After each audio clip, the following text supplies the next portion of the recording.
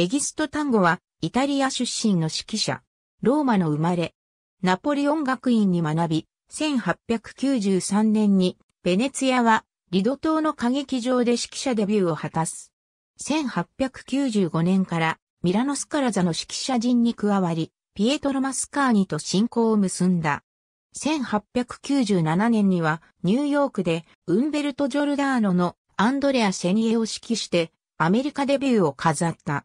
1903年から1908年までは、ベルリンコーミッシェオーパーの指揮者を務め、オイゲンダルベールの定地の初演を指揮している。1909年から翌年までは、メトロポリタン歌劇場の指揮者となり、1911年には、フェニーチェ劇場の指揮者に転任した。1912年からはハンガリー王立歌劇場の指揮者を歴任し、バルトークベーラのカカシ王子や青ひげ港の城などを初演。